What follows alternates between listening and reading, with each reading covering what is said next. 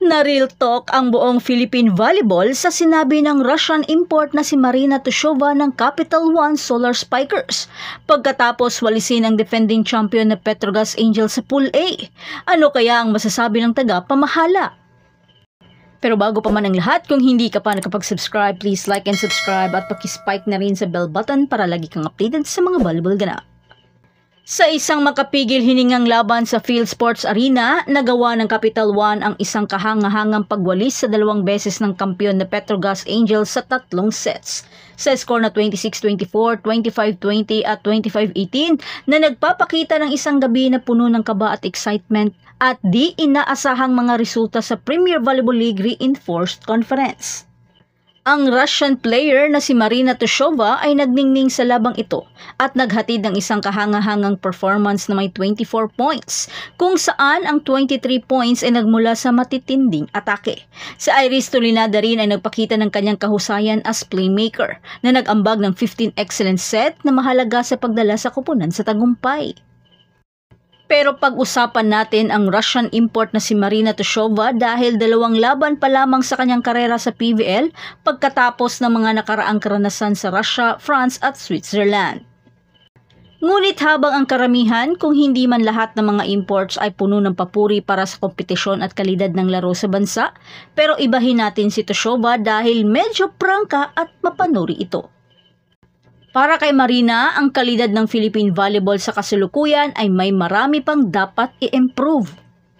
Bagamat prangka man itong sinabi pero humihingi ito ng paumanhin sa kanyang sasabihin na mariril talk ang Philippine volleyball. Dahil para sa kanya, hindi pa gaanong mataas ang kalidad ng volleyball natin sa Pinas. Sa dito ni Tushova habang binibigyan diin ang setting at passing bilang mga kasanayan na kailangang pagbutihan. Sorry if I gonna be rude. So it's not that that high uh, quality like sets, passing, and all this, but Bagamat maaaring kitang-kita ang kakulangan sa kasanayan ng mga Pilipino, ang kanilang pagmamahal sa laro sa pananaw ni Tushova ay walang kapantay. But you are like Filipino always want uh, the best of everything and you enjoy the game and you you have a big desire you know, and at tulad ng ipinakita ng kanyang kupunan na Capital One laban sa dalawang beses ng PVL Champions, ang larong ito ay tila hindi maiiwasan ang mga unpredictable sa ilang pagkakataon, kung saan masosorpresa ka na lang na hindi inaasahan. Kaya bawal ang kampante sa larong volleyball. Here it's level like this, so good defense, and you never know how the team gonna play against you. Like today, you know, no one was thinking we're gonna play like this, but we were starting our win and we did it. Ang tagumpay na ito ay isang malaking pagbabago para sa Solar Spikers na noon ay nagtamo ng matinding pagkatalo laban sa Akari Chargers. At sa ngayon, tabla na sila ng Petrogas na may isang panalo at isang talong record sa Pool B.